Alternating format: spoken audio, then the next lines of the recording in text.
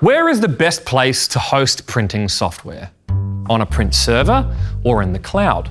Why do you need a print server anyway? Can't printing be serverless? It can be, but beware. Serverless printing is a misnomer. No printing is truly serverless. Kind of.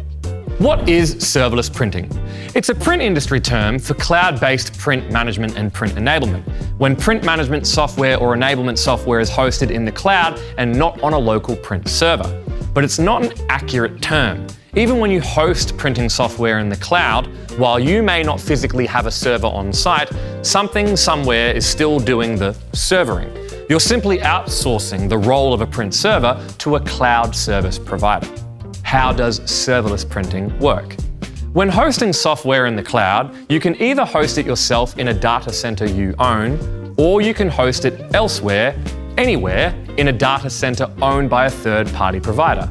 Or if you wanted to be truly serverless, you could just configure direct printing. But that is most suitable for home environments or very small offices with a very small amount of users printing.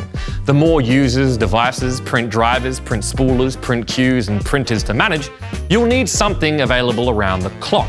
Think of a print server as a butler. It's there to serve your printing 24 7 and maybe help you fight crime. Is serverless printing a myth? If you interpret the term literally, kind of, yeah.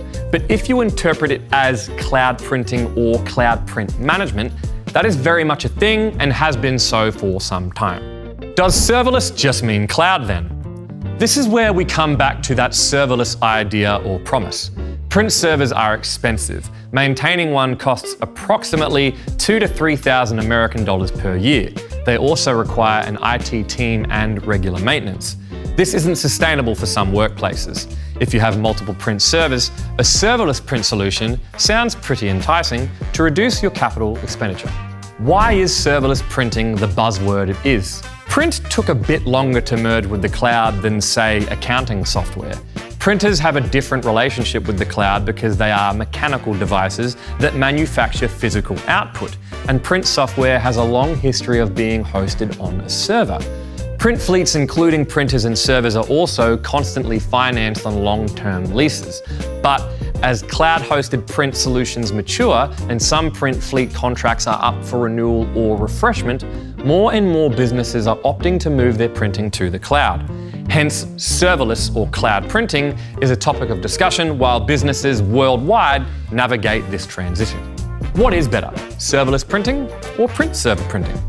There is no better. Some environments need the higher level of control that a print server provides.